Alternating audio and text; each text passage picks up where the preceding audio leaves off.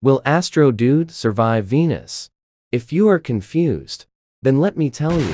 So basically, Earth was forcing Venus to do what he said for not telling his true meaning of his name. The other planets wanted to know, so they asked Astro Dude. And then Venus got mad and crashed into him. First, let's talk about the thumbnail. It's different because this thumbnail was in this video. Store in space? No. It's right there. That means it was thought about a month ago.